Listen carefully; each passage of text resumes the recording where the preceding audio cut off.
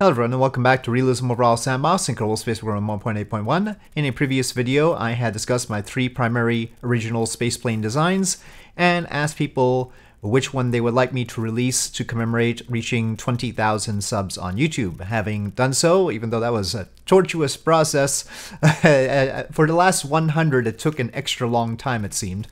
But anyway, uh, it seemed like people uh, wanted the Shinkansen spacecraft and you sort of couldn't have picked the worst choice, really, but uh, because it, it is the earliest one and it's uh, it is complicated in many many respects. I'll do what I can for you. I will give you the craft file. I will give you the KOS launch script because it is really hard to get this right otherwise. But yeah, it's still going to be a challenge. So. Uh, one, one thing I will not give you is the Shinkansen reentry script. Uh, so you're going to have to figure out how to bring it back down again. That's not necessarily easy. It's especially not wonderfully balanced in roll. I don't suggest trying to roll it a whole lot. Be careful with that. So, um, yeah. Uh, but it is a fabulously complicated sort of system. I, I am in a very bare bones install right now. Uh, so this is basically my basic realism overhaul install. We don't even have Cat and Escape Canaveral or anything, and I'll just verify that everything works in this install. But let's uh, go through a reminder of the parts. So this is obviously the craft file as it is. Uh, one thing, uh, well, many things you will want to do is you should put an airlock in here. There is no hatch on the Shinkansen because uh, that would have been extra mass. So you're gonna have to put an airlock or some hatch you are going to have to put some solar panels or fuel cells. There's no built-in fuel cell or batteries. Uh, you know, uh, add well, there is a built-in battery. What I mean is you should add some batteries uh, just in case. But yeah, that's primarily what I use the cargo bay for, incidentally. But the Shinkansen was designed such that uh, I wanted to make sure that as fuel drained, the balance would be realistic.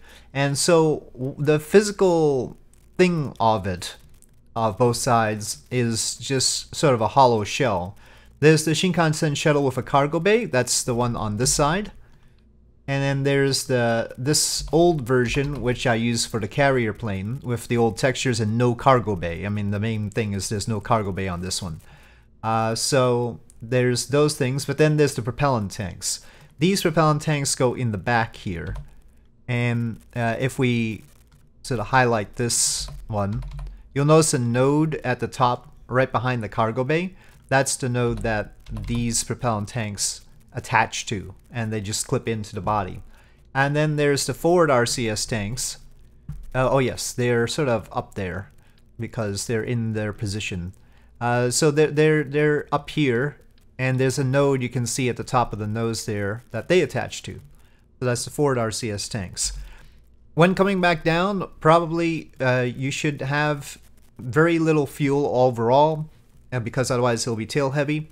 But you'll need to figure out the balance between the forward RCS and the tail uh, tanks. You, uh, yeah, take a look at that in the SPH to see where the center mass and center lift are going to be. Then the carrier craft has an extra fuel tank filling it. Uh, I will change the Shinkansen sometime to make this all a little bit better. Because like I said, it's an old model. But the carrier plane has this tank and it goes on the bottom node there. See there's a bottom node down there? That's where this goes. So attaches like that. Filling the body of the carrier plane. And then there's the cabin mass. This is the actual cabin for the the main space plane, and that attaches to the same node as the carrier plane's tanks, except, of course, the space plane does not have that tank. So, yeah, so it goes on that same node. So those are the main parts of the Shinkansen itself, but then, of course, there's the engines and the boosters and such. So the mod actually comes with four different folders in the EDB mods folder. There's a Shinkansen, those six parts, and then there's the engines. First of all, the ED1 set of engines. Uh, the ED1 itself is the OMS engine. And then there's an ED4 folder. The ED4 is the engines the main engines. So the five here and the vacuum engines on the tail of the spaceplane. So the ED4 regular are also on the boosters and all these. And they all burn methane and oxygen. Everything burns methane and oxygen. So the vacuum one has the extendable nozzle. It's fairly heavy uh, considering the thrust it produces. That's one reason why switching it out for a Raptor might be good. The problem is balance. One reason I'm giving you the craft file, there's a lot of reasons to give you the craft file. First of all, attaching the aerodynamic surfaces, all that stuff, including the vertical stabilizers, would be touchy.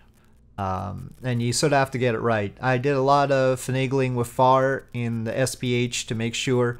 It turns out that having this at the same angle as that is the right answer. So that's uh, uh, with a lot of tweaking and testing, I found that out. The model is just not as good as I would make it now. So again, I might update it and I'll give you guys the updated one if I do. But yeah, so the aerodynamic surfaces is one problem. The other problem is the exact tilt of all the engines actually has to be right. So if you try and put it together yourself, you are going to have problems with that. Now, the craft file though, because of course you'll need things in order to open it. The craft file requires uh, B9 procedural wings, that's what all the wing surfaces are made with. It requires um, RealChutes, obviously, but that's a realism overhaul requirement. It requires B9, uh, sorry, not B9, uh, KW Rocketry SRBs because of these little retro rockets. I get those from KW Rocketry, and so the craft file won't open unless you have those. So KW Rocketry SRBs, just the SRB folder is sufficient. And TweakScale is necessary because I used a stock landing gear, and so you need to be able to tweak scale those. Um, KOS is necessary for launching. Okay, so those are the requirements. And textures unlimited is just generally required for the shininess of the engines. Um, uh, for the boosters, we have uh, two important parts.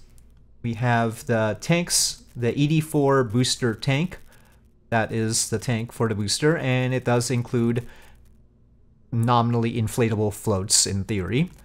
Uh, another part custom part is this Pac-Man engine encapsulation device for splashdown recovery, donut style. Donut means that it allows the engine to go through it. Uh, so, Pac-Man, where are you? Well, it's best to just type in Pac-Man. Oh, there's a lot of stuff that comes up with Pac-Man apparently. Uh, so it's this one. Uh, this one does not have a hole through it. This one does. And that is necessary to close up the boosters like that. So to ensure recovery, we have those. And so that's that whole deal. All right. So I think I've talked about everything, but let's just take it outside, launch it, and maybe I'll remember something. Obviously, uh, this all requires very particular action groups. That's why I'm giving you the craft file. So the there are action groups for the various engines on the carrier plane so that it can shut down. I decided to make an action group for the separation of the carrier plane so that uh, just in case it has the problem with staging, uh, that would be fine. And so I'm going to open terminal, make sure to open the terminal, the KOS terminal for the space plane and not the carrier plane, otherwise the wrong side will have the script. Uh, I always start on archive. Uh, that's a setting you can do in the difficulty. Make sure you're on archive. It's easier. And uh, I'll the way I'll give you the script is as a text file, and I just copy and paste it in. Okay, so run Shinkansen. Let's see if anything goes wrong. Again, this is not the install that I normally do things in. This is a bare bones install.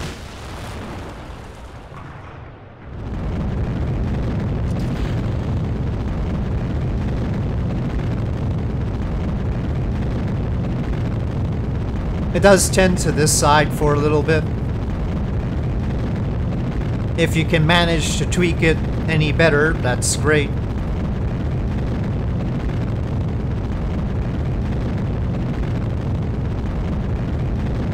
I don't have KS3P or PlanetShine or anything like that in here right now. So there's a lot that isn't going on in this install. Not even the best RSS textures. So we're passed through the speed of sound, it's throttled down a little bit through dynamic pressure. Okay, off go the boosters. And sometimes they explode.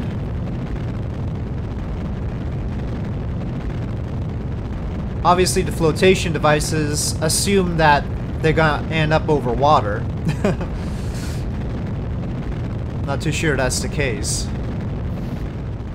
Okay, uh, first engines off. Of course I did all this during the space plane introduction video, if you will.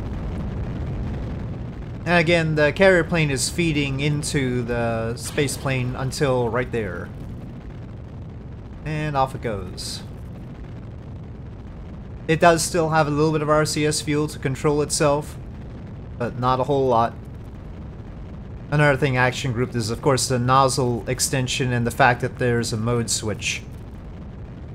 There are two modes on the engine. One is... Oh, it did not switch engine mode. Whoops.